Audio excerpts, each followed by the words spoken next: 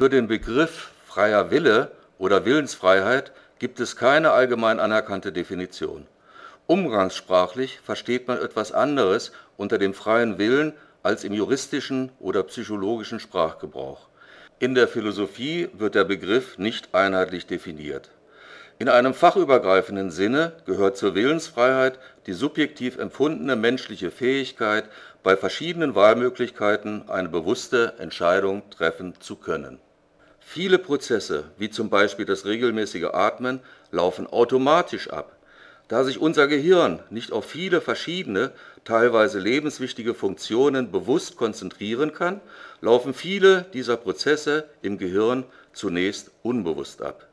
Entscheidungen werden letztlich ebenfalls unterbewusst im limbischen System getroffen, weil sie viel zu komplex sind, um sie bewusst zu verarbeiten dieses System ist allerdings eines, das vor allem egoistische Gründe abwägt und sich auf Erfahrungen bezieht, die diejenige Person schon gemacht hat.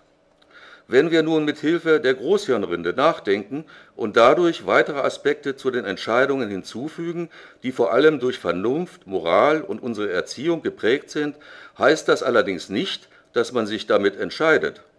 Die neuen Aspekte werden als Input, in dem unser Menschsein steckt, dem Unterbewusstsein zugeführt und haben ebenso Einfluss auf die letztendliche Entscheidung wie Erfahrungen und die egoistische Einstellung des limbischen Systems selbst. Zu welcher Entscheidung das führt, kann man nicht vorhersagen. Die Entscheidungsfindung selbst ist nicht zugänglich.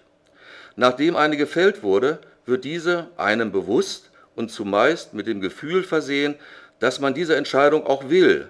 Allerdings geht die Entscheidung so sehr dem Willen voraus, dass dieser nicht Ursache, sondern nur Begleiterscheinung sein kann. Und das ist die Illusion des freien Willens. Doch der Mensch hält sich unwillkürlich für den Schöpfer seiner Handlungen, für die er sich zuerst entscheidet, um sie nachfolgend auszuführen. Die Überzeugung von Willensfreiheit basiert auf einem Selbstbild, das gewöhnlich als Ich bezeichnet wird. Dieses Ich wird als Zentrale im Gehirn verstanden, das eigenständige Entscheidungen trifft. Das Ich ist ein Bild, eine Vorstellung, die nur so lange existiert, wie Gedanken aufsteigen.